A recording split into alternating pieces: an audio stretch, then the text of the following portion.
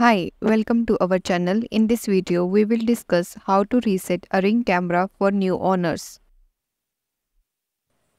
To reset a ring camera for new owners, follow these steps. Step 1. Locate the reset button. Ensure you have physical access to the camera. For models like floodlight and spotlight, this may require using a ladder to safely reach the camera. Step 2. Press the reset button.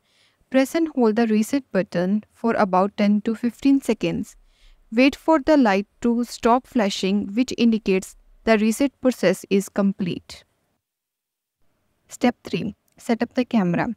Once the lights go off, the camera will be in factory refresh state. To set it up, scan the QR code on the camera in the Ring app. Follow the setup process in the app to connect the camera to your new account.